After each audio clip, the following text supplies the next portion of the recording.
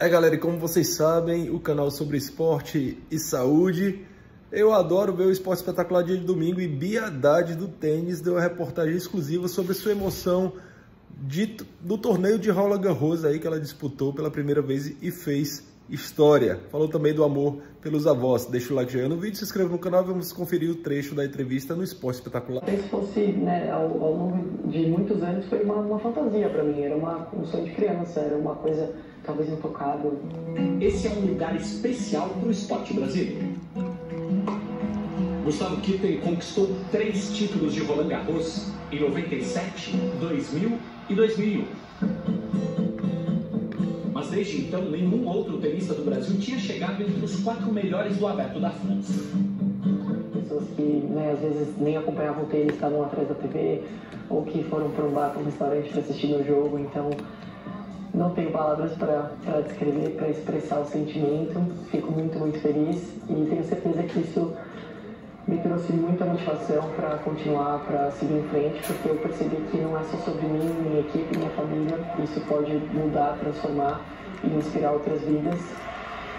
O chaveamento de um torneio de Grand Slam começa com 128 atletas.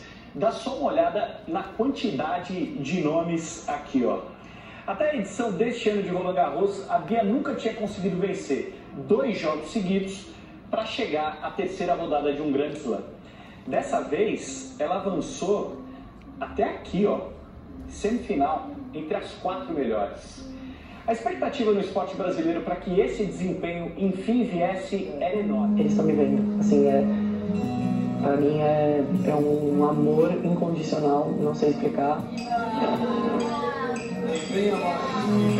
Nesta semana o Brasil matou as saudades de estar entre os maiores do tênis. E assim, a campanha da Pia também jogou luz sobre a história de dois dos nossos maiores atletas. Guga esteve na arquibancada da quadra Felipe Chatrier, torcendo pela fã na derrota para a polonesa Iga Swiatek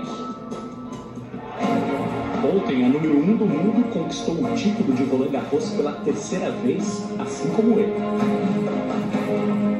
A outra história precisa ser sempre lembrada e valorizada. A da maior tenista do Brasil. Na década de 60, Marista Bueno conquistou 19 títulos de Grand Slam entre torneios de simples e de duplas. O nome dela tá ali, o meu é Marister, o Guga, e eu me coloco numa posição bem abaixo, eu não sento na mesa deles, eu quero deixar isso bem claro. É, não que eu não, não goste deles, eu tô falando por admiração mesmo, eles são gênios, são pessoas fora da curva e eu tenho que trabalhar muito duro para ser 100% do que eles foram.